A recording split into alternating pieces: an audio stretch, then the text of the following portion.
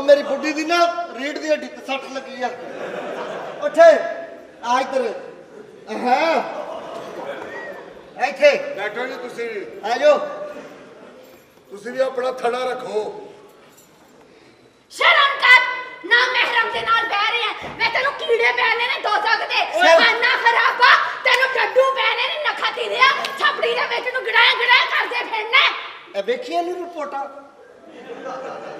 ਅਗਲਾ ਛਪੜੀ ਚ ਗੜਿਆਂਗੜਿਆਂ ਕਰਦਾ ਹੈ। ਹਾਂ। ਚਲੋ ਹਾਂ। ਅਗਾ ਉਹ ਕਿੱਥੇ? ਫੈਮਿਲੀ ਦੇ ਨਾਲ ਹੋਵੋ ਕਿਵੇਂ? ਅਗਾ ਉਹ ਮੇਰੀ ਝੋਲੀ ਚ ਬਸੋ।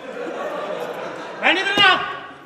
ਨਹੀਂ ਤੇ ਅਸੀਂ ਕਿਤੇ ਸਫ਼ਰ ਤੇ ਜਾ ਰਹੇ ਹਾਂ। ਨਹੀਂ ਜਾਨ ਤੇ ਇਹ ਕਿਹੜਾ ਕਿਰਾਇਆ ਬਚਾਉਣ ਡਏ ਹੋ? ਮਰੀ ਜਾ ਰਹੇ।